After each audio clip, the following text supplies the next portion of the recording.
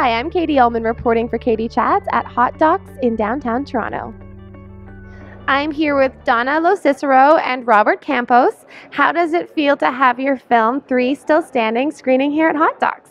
We're just thrilled by it. I mean, this is an amazing festival. It feels like you're at the center of the documentary universe when you're here.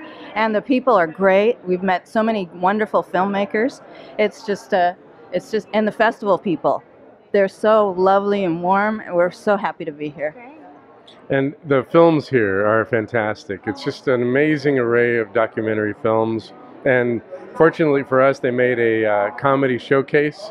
Uh, and Tig Notaro, and, and you know, there's a Howie Mandel film, and National Lampoon. It's really a great company. So we're, we're thrilled and honored, really happy to be here. Well, congratulations.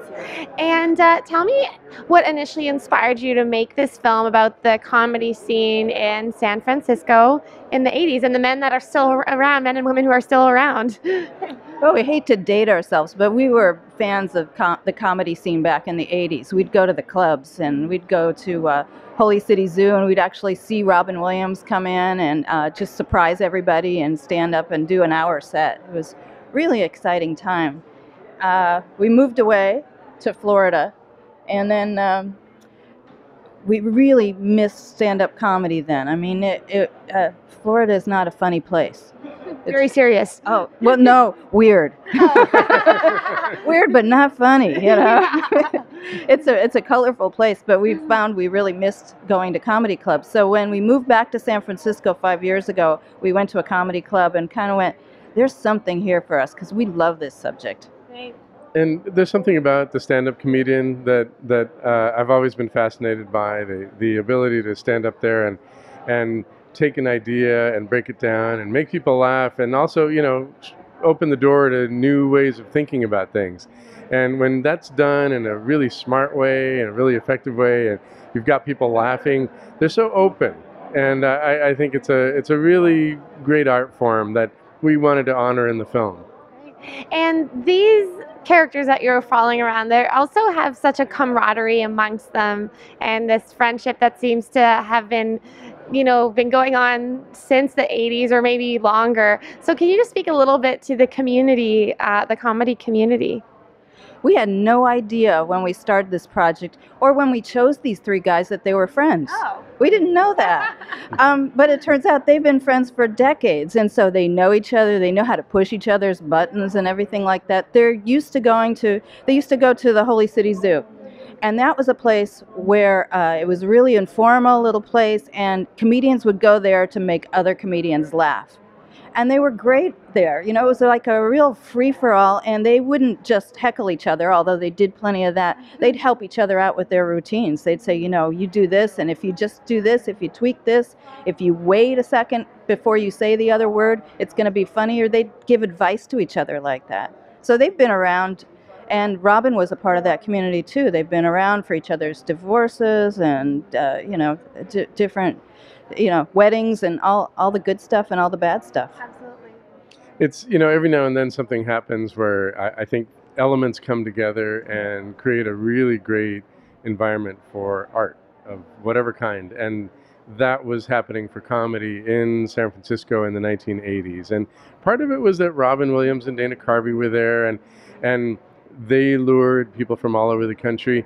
Part of it was that San Francisco wasn't a really big media city at that point too. You know, it wasn't you weren't trying to get on a, a late night show or or on television. You were just trying to do the best comedy you could, and so it created this really rich environment where you could you know make mistakes or take chances or try material that you would never try if you were you know if you knew an agent was in the audience you wouldn't do it you but since it didn't matter i think it created this great you know creative space and why did you choose Johnny Steele, Will Durst, and Bubbles as your main characters?